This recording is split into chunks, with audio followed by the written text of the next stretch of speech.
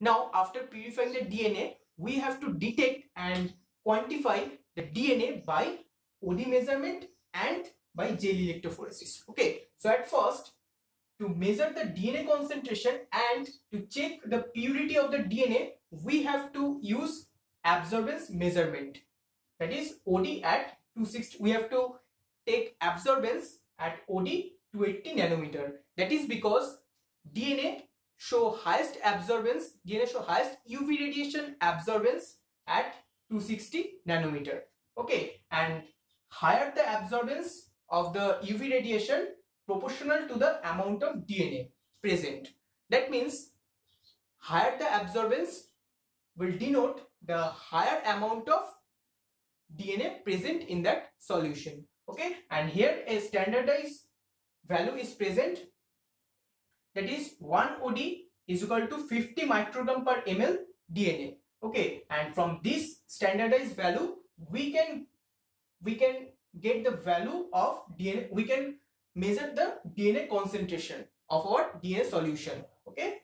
So suppose we get 1.6 OD of our DNA solution, purified DNA solution. Okay. So from here we can get the DNA concentration. It is 50 into 1.6 microgram per ml DNA. So this is our DNA concentration and in this way we can get the DNA concentration of our DNA solution. Okay, now we have to check the purity of the DNA and this is done by measuring the absorbance at 260 nanometer and absorbance at 280 nanometer and from this ratio we can get we can check the purity of the DNA that is whether it is contaminated with RNA or protein or not. Okay? And if the ratio is present in 1.6 to 2 then we can say that the DNA is pure. Okay? And if this ratio is less than 1.6 then we can say the protein or phenol contamination is present. That is because proteins show highest absorbance at 280 nanometer okay so when the protein contamination is present this time this time the protein show higher absorbance at 280 nanometer so all over this ratio will be less. Okay. And this ratio will be less than 1.6. So then we can conclude that the protein contamination is present with our DNA, purified DNA. Okay. And now when this ratio is greater than 2, then we can say that the RNA contamination is present. That is because that is because RNA also show highest absorbance at 260 nanometer.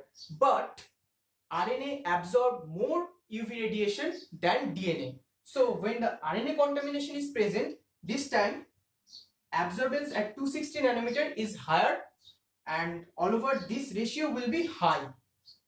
And this all over this ratio, when all over this ratio is greater than 2, then we can conclude that the RNA contamination is present. Okay. So in this way, we can check the purity of the DNA. And now, the gel electrophoresis. This gel electrophoresis is used to, to measure the presence of DNA in the purified DNA sample and to measure the quality of the purified DNA. That is because, that is uh, when we add the purified DNA in the agarose gel for agarose gel electrophoresis, and then we get a DNA band and measuring this measuring the intensity of this DNA band we can say the quality of the purified DNA okay so in this way we can measure and detect and quantify the DNA purified DNA okay so this is the whole process of extraction and purification of DNA okay thank you for watching this video